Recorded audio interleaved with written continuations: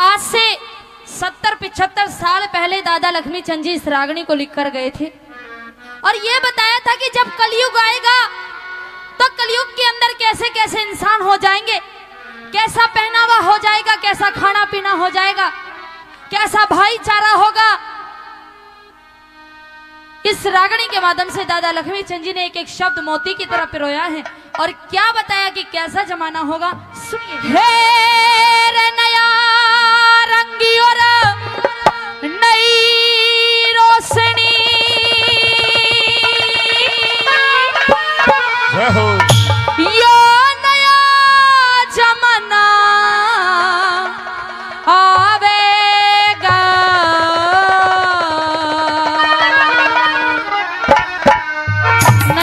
होगा, नया जमाना होगा।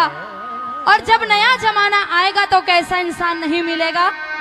हे रे जत्ती सत्ती हे रे जत्ती सत्ती सतवादी मानस ना तो पावेगा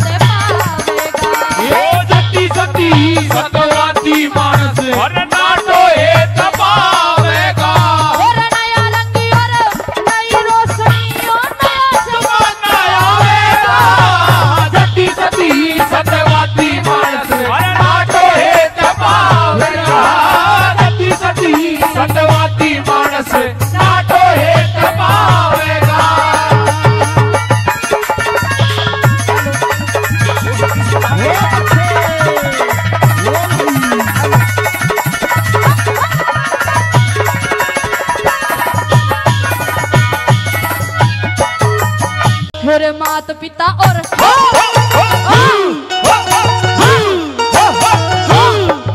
माता पिता और माता पिता और माता पिता और बुआ बहन का माता पिता और बुआ बहन का आदर मान रहे कोना? मदरान समास का खाना शास्त्र रामायण गीता का भी ज्ञान रहे। गोमती गायत्री का।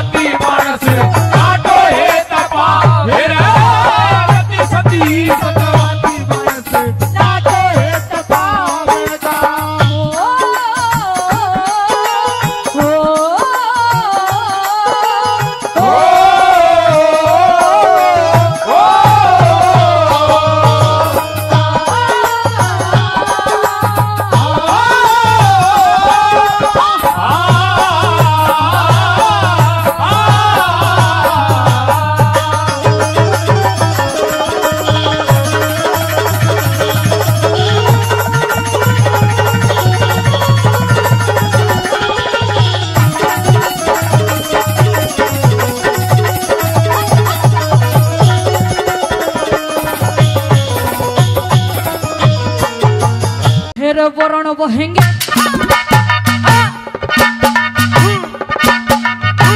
वरण बहेंगे वरण बहेंगे चारों छतरी वरण बहेंगे चारों छतरी सुंदर वे प्रवाणी चारों वर्ण बड़ापन में रहे धन की गेल जानी धर्म करनिया धर्म करनिया मरे कलयुग में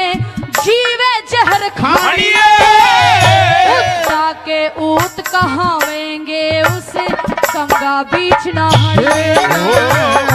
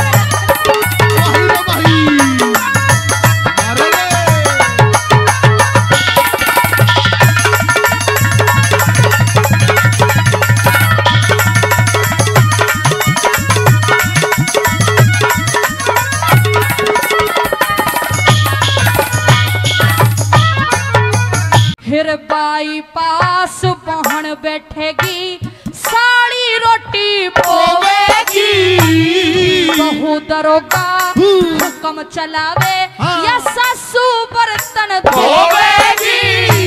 पति ने छोड़ के वीर भाग जा नया ठिकाना धोवेगी। दादा पोते का दादा पोते का खून मिले ना इतनी भी हद हो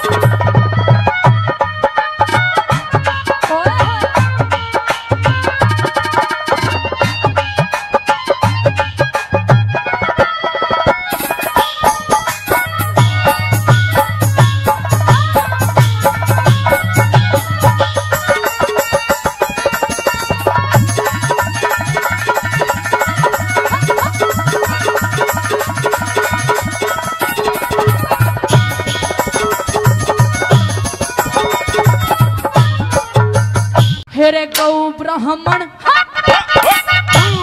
गौ ब्राह्मण साधु की सेवा कम ते कम हो जावे। दारू सुल्फा पीवन की आते सबके गम हो जावेगी अब तो मरद खसम बन रे फिर पीर खसम हो जावेगी सिगरेट बीड़ी चाय पीने की